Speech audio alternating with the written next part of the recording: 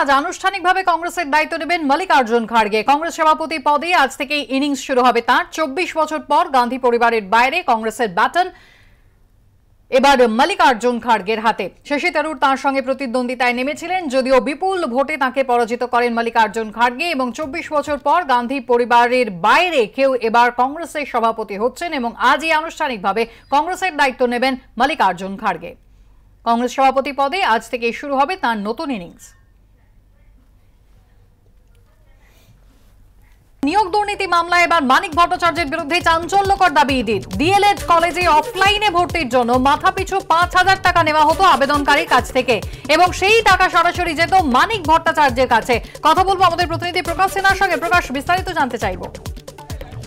দেখো, গতকালই এই বিস্ফোরক অভিযোগ কিন্তু ইডির আইনজীবীরা তারা কোর্টে জানিয়েছিলেন এবং ইডির তরফে যে নথি পেশ করা হয় কোর্টের মধ্যে, সেই নথিতে যে আঠেরো নম্বর পয়েন্ট রয়েছে, সেখানেই কিন্তু যেটা অভিযোগ আনা হচ্ছে ইডির তরফে, যে ছশোটি ডিএলএড কলেজ সেই কলেজের যে ক্যান্ডিডেটরা ছিল, তারা কিন্তু offline registration form fill up করেছিল।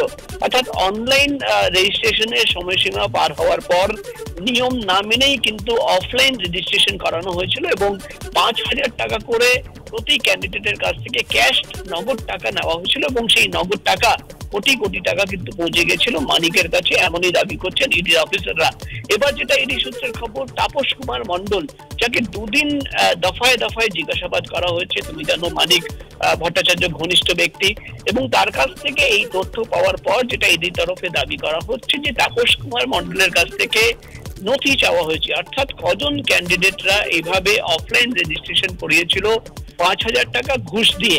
তাদের একটি লিস্ট চাওয়া হয়েছে। এবং কীভাবে এই গোটা রেজিস্ট্রেশন করা হয়েছিল অফলাইন নিয়ম না মেনেই তার সেই সংক্রান্ত নথি চাওয়া হয়েছে।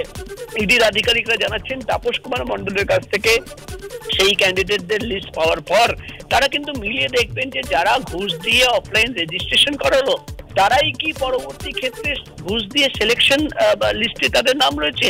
অর্থাৎ কারা, কজন ঘুষ দিয়ে এইভাবে কিন্তু অনলাইন রেজিস্ট্রেশন অফলাইন রেজিস্ট্রেশন করিয়েছিল এবং পরবর্তী ক্ষেত্রে তারাই কি সিলেক্টেড হয়েছিল? এই লিস্ট কিন্তু পাওয়ার পর ইডির আধিকারিকরা তদন্ত করে দেখবেন, সব মিলে কিন্তু ইডি তরফে বিস্ফোরক অভিযোগ যে সরকারি নিয়ম না মেনেই কিন্তু অনলাইন রেজিস্ট্রেশনের সময়সীমা পার হওয়ার পরেও কিন্তু ঘুষ দিয়ে অফলাইন রেজিস্ট্রেশন করানো হয়েছিল এবং সেই সংক্রান্ত নথি ক্যান্ডিডেটদের লিস্ট তাপস কুমার মন্ডল যিনি কিন্তু অ্যাসোসিয়েশনের সেক্রেটারি তার কাছ থেকে চাওয়া হয়েছে ইডি তরফে দাবি করা হচ্ছে। এই হ্যাঁ, গোটা প্রক্রিয়ায় কিন্তু তাপস কুমার মন্ডলের সক্রিয় ভূমিকা ছিল তাই তার জন্য তার কাছ থেকে এই সমস্ত লিস্ট এবং নথি চাওয়া হয়েছে।